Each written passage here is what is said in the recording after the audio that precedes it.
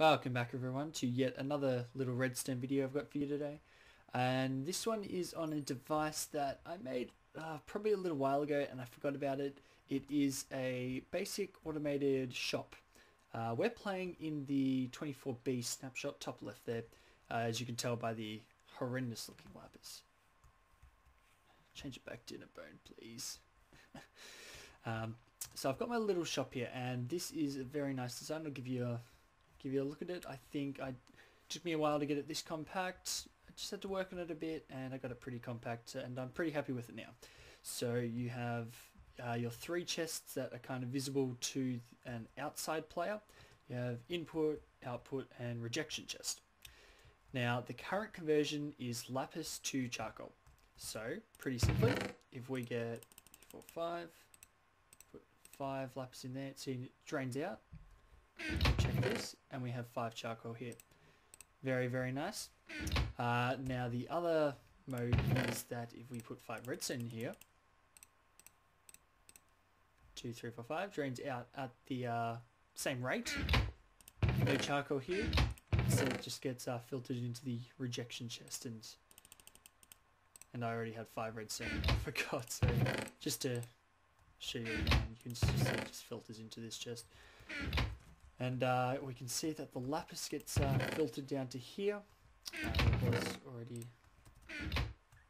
uh, put the 10 back in here. You can see it beautifully filters into here, all 10 of it. Uh, so I'll go through the kind of basic concept of it. Excuse me. Uh, so what happens is that uh, the chest drains into this hopper, which is pointed at this hopper but below it is a hopper just full of lapis. So any lapis that comes into here will get filtered down. Anything else will just get filtered straight out to the side to the rejection chest. And of course this can be used with any uh, stackable item this will work with. And yeah, any stackable item won't work with non-stackable items uh, for obvious reasons because you can't stack them.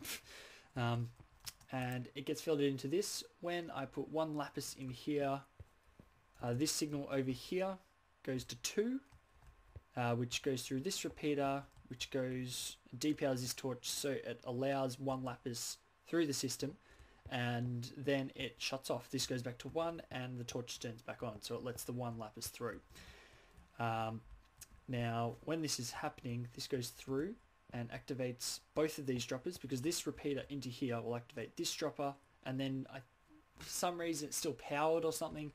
Um, it's a bit weird with the mechanic of droppers but it essentially powers both of these and pushes up the charcoal into there and you can see this is full of charcoal and this one's stuck in there apparently.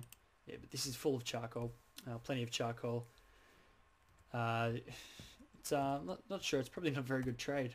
Probably Probably one lapis to one redstone would be a good trade, I reckon. Or one redstone block, I would say. But um, that's pretty much how it works. It's uh, I it took me a while to get uh, this little bit, and uh, because this torch doesn't actually interfere with any of these droppers, um, it might interfere with this dropper, but I don't think it has any uh, consequence at all. So uh, I think it interferes with the bottom one, which is why you get this one here. But overall, still works perfectly, one-to-one exact ratio.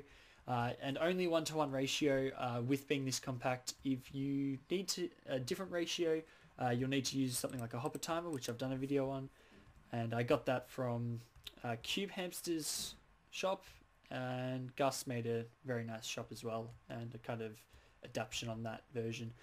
Uh, which I will will post in the link, I think. Uh, post in the description. The link in the description is what I'm trying to say. So yeah guys, hope you enjoyed this little shop. Hopefully you can put this to good use in your multiplayer world, your SMP worlds, because it's a nice, I think it's a nice little design, nice compact, resource friendly, and uh, yeah. I guess I'll catch you next time guys. Hope you enjoyed this one.